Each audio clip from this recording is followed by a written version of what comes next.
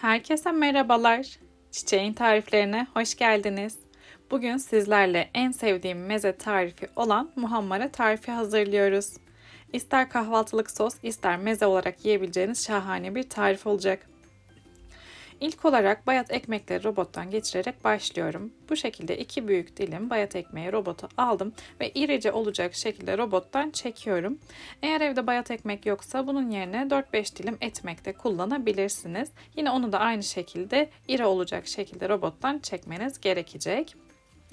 3 tane közlenmiş kapya biberi de şimdi robotun içerisine alıyorum.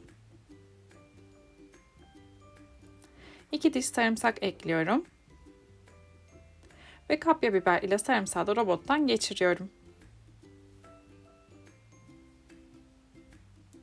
Robottan çekmiş olduğum kapya biber ve sarımsağı da şimdi karıştırma kabının içerisine aldım. Sıra geldi muhammara tarifinin diğer malzemelerini eklemeye. İrice kıyılmış yarım su bardağı ceviz içi, 2 yemek kaşığı sızma zeytinyağı, 1 tatlı kaşığı biber salçası, 1 tatlı kaşığı domates salçası, 1 çay kaşığı kimyon, 1 çay kaşığı kırmızı toz biber ve 1 çay kaşığı tuz.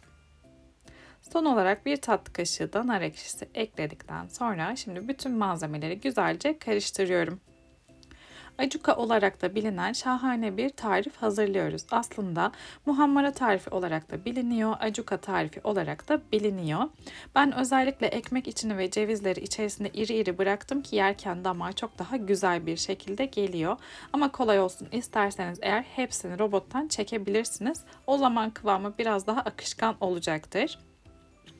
Malzemelerin hepsini iyice karıştırmaya devam ettikçe ekmekler biberin suyunu birazcık daha içine çekiyor ve bu şekilde koyu kıvamlı şahane bir meze tarifi hazırlamış oluyoruz sizlerle hazırlayabileceğiniz en kolay ve en lezzetli meze tariflerinden bir tanesi. Çok az malzemeli ve çok pratik oluyor.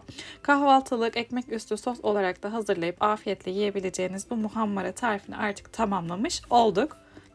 Eğer muhammara nasıl yapılır diyorsanız ve muhammaranın yapılışını merak ediyorsanız, Hatay usulü muhammara tarifi arıyorsanız ya da böyle kahvaltılık acı biberli cevizli bir sos tarifi hazırlamak istiyorsanız hazırlayabileceğiniz şahane bir tarif olan muhammara tarifini diğer bir adıyla acuka tarifini tamamlamış olduk sizlerle.